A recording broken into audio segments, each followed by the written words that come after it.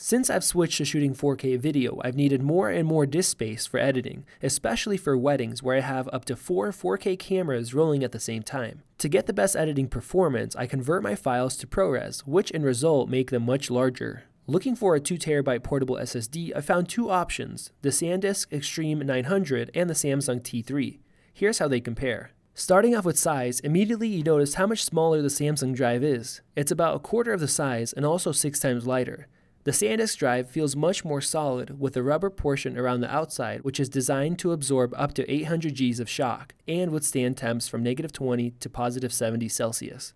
The Samsung is also labeled as shock resistant, but I'd place my bets on the SanDisk. Another benefit of the larger size is heat dissipation. The Samsung drive gets hot really fast, where the SanDisk stays cool even after prolonged use.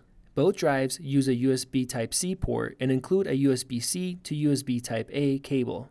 The SanDisk also includes a USB-C to C cable, which is handy for devices that don't have a standard USB port.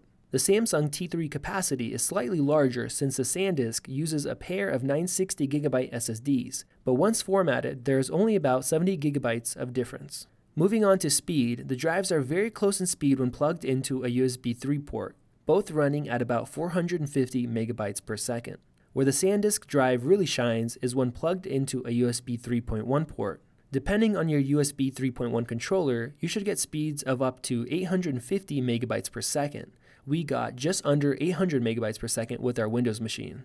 So with all this info, which one should you choose? Personally, we chose two of the SanDisk Extreme 900s even though our Hackintoshes don't yet support the full speed of the drives.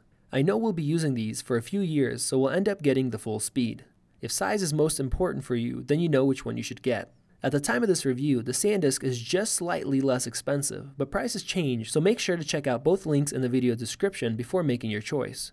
If you buy through our links, it doesn't cost any extra, but helps us make more videos like this one, so thank you. If you want to see more videos, hit that subscribe button and be part of the notification squad.